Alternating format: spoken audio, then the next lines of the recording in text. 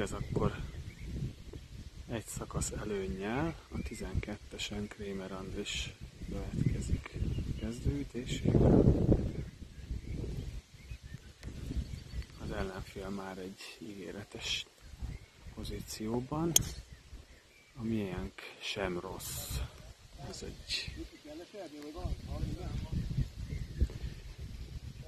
Kramer Mezlerics kettős, ha minden igaz, akkor egy előnyben, a Sánta Gürtler kettős pedig kettő előnyben.